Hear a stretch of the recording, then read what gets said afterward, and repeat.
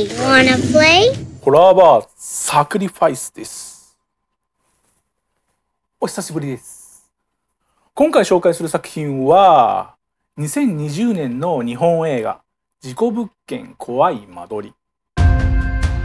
まずはじめに言いたいことは、そもそも間取りとは、ここにキッチンがあって、ここに和室があって、ここにシャワーがあって、トイレがあってみたいな、部屋の作りを表した図。だから、その間取りを見たところで、あ、ここで自殺がありましたねとか、事故がありましたねとか、お化けが出ますねっていうのは、うん、わからないです。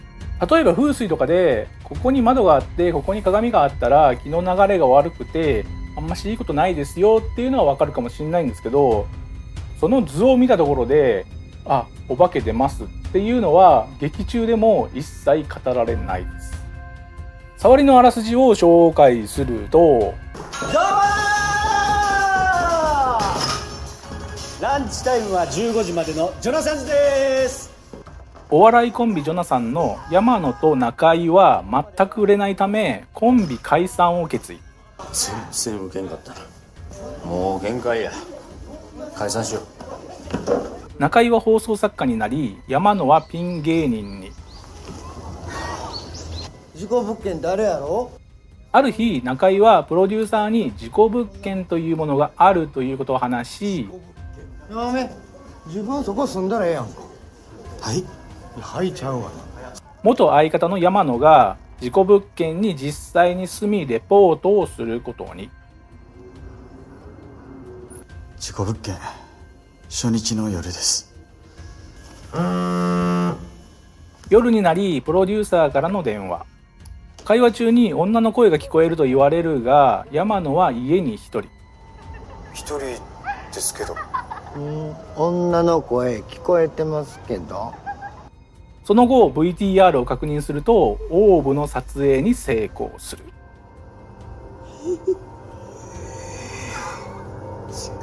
でこの作品を撮った監督は現代日本ホラーを代表する1998年の「リング」を撮った中田秀夫監督。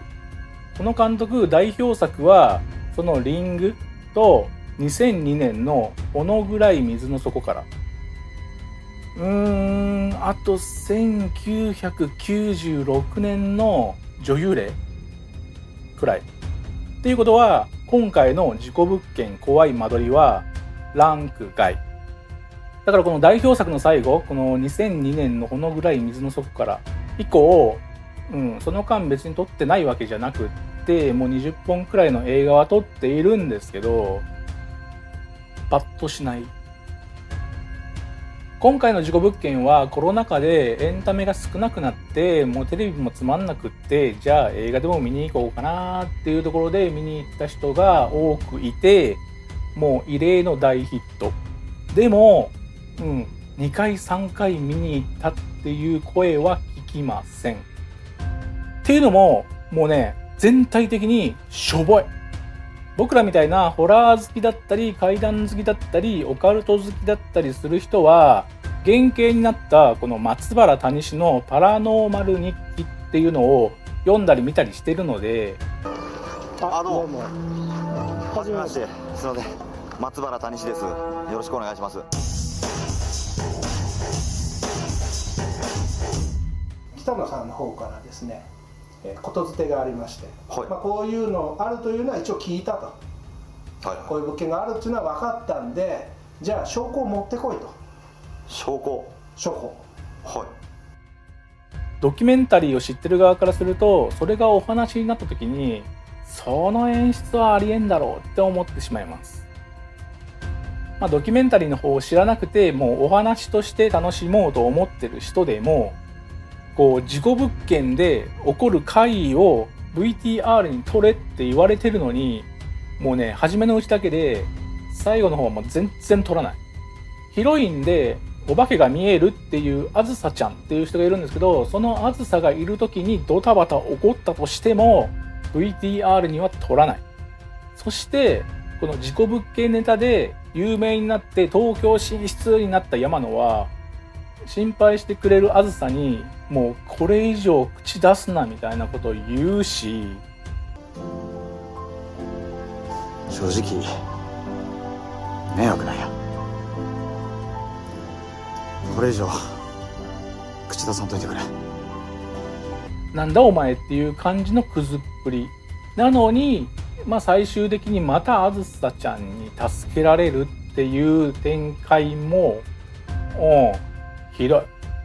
その辺の脚本がしょぼくて結果面白くないんですけどしかも演出撮影の仕方もしょぼい。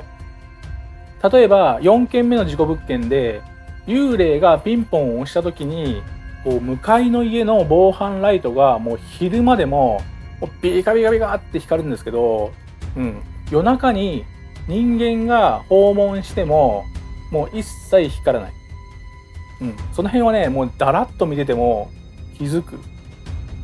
まあいろいろしょぼいところを挙げればきりないんですけど、うん、最大のしょぼいところは最後のクライマックスでお化けがいっぱい出てくるシーン。もうねドリフかよって感じでうん。しょぼすぎて笑います。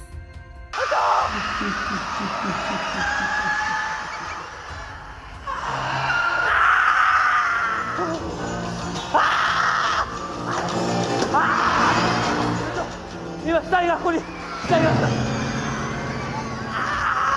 てな感じで年齢制限もないホラー映画なので、うん、お風呂に入る前寝る前に見てみたらいかがでしょうか。今回は事故物件怖い間取りの紹介でした。それではまた追って報告する。